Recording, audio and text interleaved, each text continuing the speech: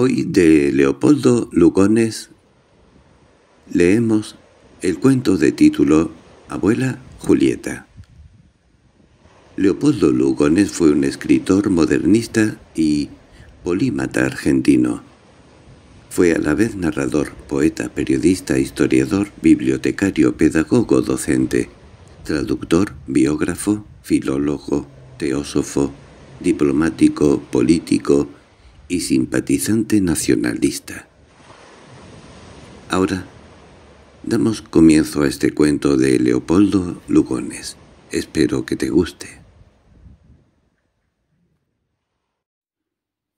Abuela Julieta Cuento de Leopoldo Lugones Cada vez más hundido en su misantropía, Emilio no conservaba ya más que una amistad, la de su tía la señora Olivia. Vieja solterona como él, aunque veinte años mayor. Emilio tenía ya cincuenta años, lo cual quiere decir que la señora Olivia frisaba en los setenta. Ricos ambos, y un poco tímidos. No eran estas las dos únicas condiciones que los asemejaban. Se parecían también por sus gustos aristocráticos, por su amor a los libros de buena literatura y de viajes, por su concepto despreciativo del mundo, que era casi egoísta, por su melancolía mutuamente oculta, sin que se supiese bien la razón, en la trivialidad chispeante de las conversaciones. Los martes y los jueves eran días de ajedrez en casa de la señora Olivia, y Emilio concurría asiduamente desde hacía diez años a esa tertulia familiar que nunca tuvo partícipes ni variantes.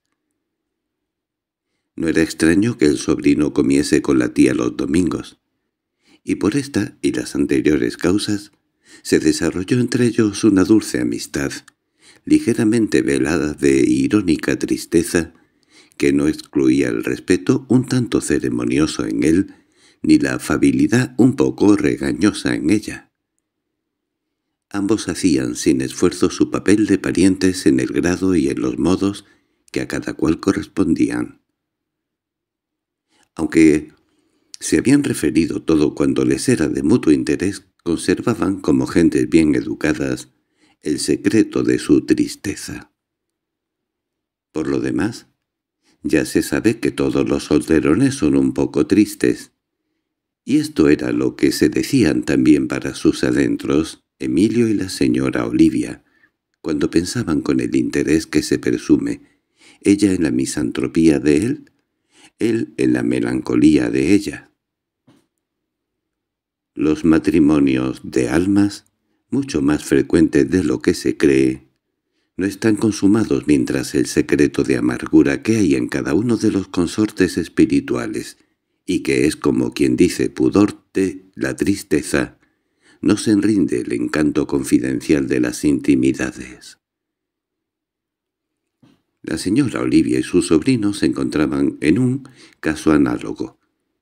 Si aquella tristeza que se conocían pero cuyo verdadero fundamento ignoraban se les hubiera revelado, habrían comprobado con asombro que ya no tenía nada que decirse. La reservaban, sin embargo, por ese egoísmo de la amargura que es el rasgo característico de los superiores, y también porque les proporcionaba cierta inquietud, preciosa ante la perfecta amenaza del hastío que estaba en el fondo de sus días solitarios. Un poco de misterio impide la confianza, escollo brutal de las relaciones en que no hay amor. Así, por más que se tratara de dos viejos, la señora Olivia era siempre tía y Emilio se conservaba perpetuamente sobrino. Cuarenta años atrás, recordaba la señora Olivia, aquel muchacho sombríamente precoz, cuyo desbocado talento unido a sordas melancolías hizo tener más de una vez por su existencia, aquel hombrecito huraño, ya como ahora, era su amigo. No tenía esos risueños abandonos de los niños en la rodilla del ser predilecto, pero miraba con unos ojos tan tristes. Su frente era tan alta y despejada que lo quería y estimaba al mismo tiempo. No se dio cuenta de los veinte años que le llevaba. Consideró su amigo, lo consideraba, empezando a comprender aquella diferencia solo cuando lo vio regresar de Alemania, terminada ya su carrera, hecho todo un señor ingeniero, que vino a saludarla muy respetuoso, muy amable, pero demasiado sobrino para que ella no asumiera inmediatamente sus deberes de tía. Las relaciones se estrecharon después, pero ya de otro modo. Ella, en su independencia orgullosa de solterona rica, acogió amablemente al joven cuya misantropía le pareció interesante, y cuando tres años después éste se quedó huérfano, encontró en la casa de la vieja, a pesar de las etiquetas y los cumplimentos, el calor de hogar no muy vivo que le faltaba. Por un acuerdo y confeso, aunque no menos evidente, fueron cambiando con los años sus pasatiempos. Después de las conversaciones, la música, después de la música el ajedrez, y de tal modo estaban compenetrados sus pensamientos y sus gustos, que cuando una noche de sus cuarenta años, Emilio encontró en el saloncito íntimo el tablero de juego junto al cerrado piano, sin notar al parecer aquella clausura del instrumento que indicaba el fin de toda una época, hizo sus reverencias de costumbre y jugó durante dos horas, como si no hubiera hecho otra cosa toda su vida. Ni siquiera preguntó a la señora Olivia cómo sabía que a él le gustaba el ajedrez. Verdad es que ella se habría encontrado llena de perplejidad ante esa pregunta. La diferencia de edades había concluido por desaparecer para aquellos dos seres. Ambos tenían blancas las cabezas y esto les bastaba. Tal vez la misma diferencia de los sexos ya no existía en ellos, sino como una razón de cortesía. La señora Olivia se conservaba fresca, pues estaba cubierta por una doble nieve, la virginidad y la vejez. Aún sonreía muy bien, y para colmo de gracia apostaba de los anteojos. Su palabra era fluida y su cuerpo delgado. La vida no la aplastaba con su peso de años redondamente vividos, al contrario, la abandonaba. Esto la volvía traslúcida y ligera. No podía decirse en realidad que fuese vieja. Apenas se advertían sus canas. Emilio sí. Emilio sí estaba viejo. Mas no parecía un abuelo. Carecía de esa plácida majestad de los ancianos satisfactoriamente reproducidos. Era un viejo caballero que podía ser novio aún. Sus cabellos blancos, su barba blanca, su talante un poco estirado, más lleno de varonil elegancia, sus trajes irreprochables, sus guantes, constituían un ideal de corrección. Llevado un niño de mano, se hubiera tomado por un fresco viudo. Pretendiendo una señorita de veinticinco años, habrían tenido que alabar su amable cordura. Su tía y él eran dos mármoles perfectamente aseados. Por dentro eran dos ingenuidades que disimulaban con bien llevada altivez candores tardíos. La delicadeza de la anciana encubría un estupor infantil. La frialdad de Solbrino velaba una desconfianza de adolescente. Además hablaban en términos literarios, hacían frases como las personas ilustradas y cortas de genio que no han gozado las intimidades del amor, ese gran valorizador de simplicidades. También eran románticos. Precisamente hacía tres meses que Emilio regaló a su tía un ruiseñor importado a mucho costo de Praga, por los cuidados del famoso pasajero, y en una legítima jaula de Guido Fideis de Viena, Dos noches antes el pájaro cantó, y esa fue la noticia con que la señora Olivia había sorprendido a su sobrino un martes por la noche mientras ocupaban sus casillas las piezas de ajedrez. Emilio, galante como siempre, traía para el pájaro un alimento especial, la composición de... pues, en punto de crianza prefería los métodos franceses. Aquel ruiseñor fue un tema de que se asieron ansiosamente, cansados ya por un año de plática sin asunto, y del ruiseñor a Shakespeare. En Verona, decía la señora Olivia, aprendí precisamente a preferir la alondra como que, al fin, mujer. Había de quedarme con la centinela de Romeo, profesante allí una predilección singular, llamándola familiarmente la capelata. «Pero el ruiseñor», afirmó Emilio, «no es de los veroneses.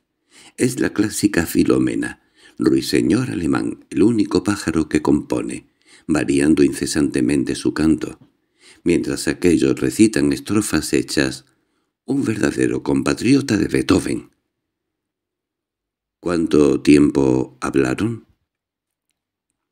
La luna primaveral que había estado mirándolos desde el patio los veía ahora desde la calle, y Emilio contaba una cosa triste y suave como las flores secas de un pasado galardón. Recordaba ella cuando la tifoidea lo postró en cama, siendo muy niño aún de doce años. Ella fue su enfermera. Se desveló tanto por él Miraba todas sus ojeras, sus cabellos desgarbados por el insomnio en ondas flavas de fragante opulencia. Él sabía, por los dichos de los otros, de los grandes, que era bella, aunque no se daba bien cuenta de lo que venía a ser una mujer hermosa. Pero la quería mucho, eso sí, como una hermana que fuese al mismo tiempo una princesa. Su andar armonioso su cintura lo llenaban ante ella de turbado respeto. Se ponía orgulloso de acompañarla y por esto siempre que iba a su lado estaba tan serio. Durante sus delirios febriles fue la única persona que no viera deformada en contorsiones espeluznantes, y cuando vino la convalescencia, una siesta, llevaba ella un vestido a cuadritos blancos y negros, el niño repentinamente virilizado por la enfermedad comprendió que el amor de su tía le ocupaba el corazón con la obscura angustia de un miedo. Fue una religión lo que sintió entonces por ella durante dos años de silencio, siempre contenidos por su pantalón corto y su boina de alumno, ridículos para el amor. Después, el colegio, los viajes, el regreso, y siempre esa extraña pasión poseyéndole el alma, se hizo misántropo y, como no, esterilizó su vida. Gastó el perfume de ese amor de niño concentrado por la edad, inútilmente como un grano de incienso quemado al azar en el brasero de una chalequera dormida, más. ¿Para qué le estaba él diciendo todo eso? El silencio del saloncito se volvió angustioso.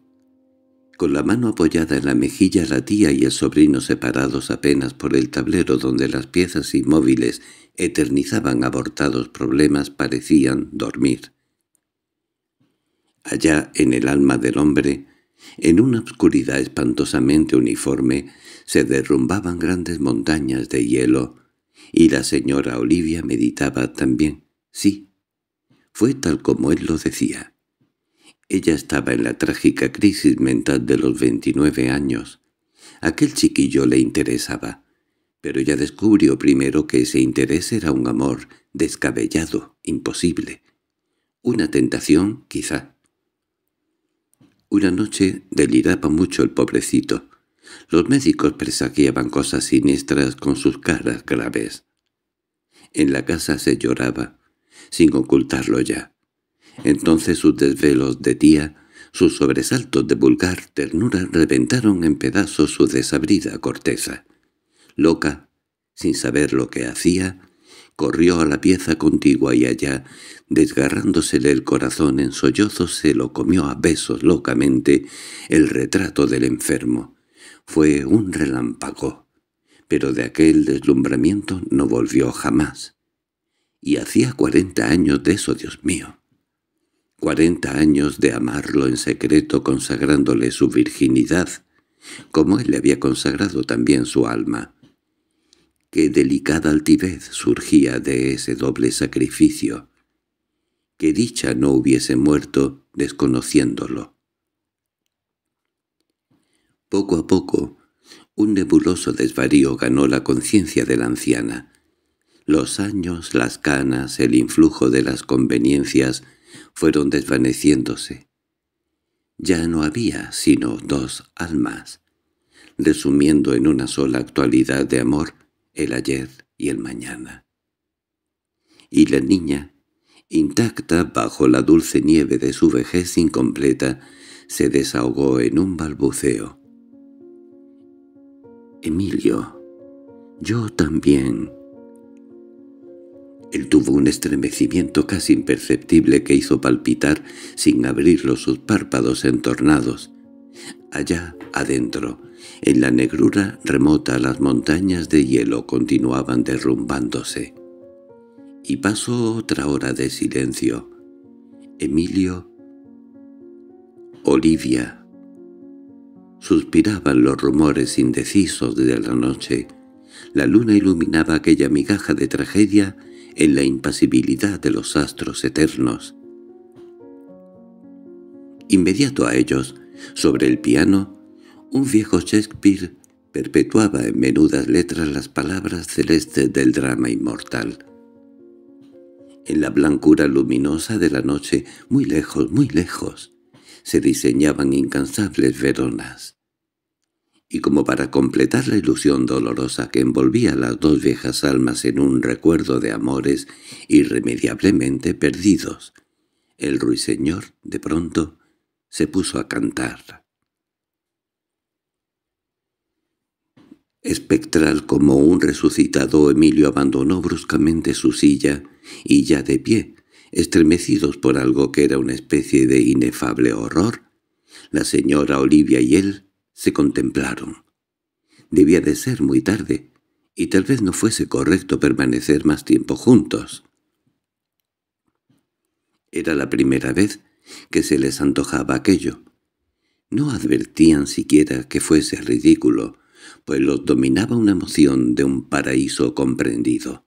Mas la luna, propicia por lo común a los hechizos, rompió esta vez el encanto. Uno de sus rayos dio sobre la cabeza de la anciana, y en los labios del hombre sonrió entonces la muerte. Blancos. Sí, estaban blancos como los suyos. Esos cabellos cuya opulencia fragante recordaba aún a través de tanto tiempo. Era Shakespeare el que tenía la culpa. Quien lo creyera tomar en serio un amor que representaba el formidable total de ciento veinte años. El ruiseñor cantaba. Cantaba, sin duda, los lloros cristianos de su ausencia, las hedechas armoniosas de su viudez. Una viva trizadura de cristal mordía lentamente los dos viejos corazones. De pie, Frente a frente, no sabían qué decirse ni cómo escapar al prestigio que los embargaba. Y fue ella, la que tuvo valor por fin, la que asumió heroicamente esa situación de tragedia absurda, porque después de todo no sabía que la luna le estaba dando en la cabeza. Como Emilio hiciera un movimiento para retirarse, dijo. «Quédate, ya tienen bastante con los cuarenta años de vida que le hemos dado. Es probable que el destino estuviera incluido en ese plural. Bajo el bigote de Emilio se estiró una sonrisa escuálida como un cadáver. El lenguaje literario se le vino a la boca y con una melancólica ironía que aceptaba todos los fracasos del destino, hizo una paráfrasis de Shakespeare. No, mi pobre tía. El rocío nocturno hace daño a los viejos. El ruiseñor ha cantado ya, y el ruiseñor es la alondra de la medianoche. Fin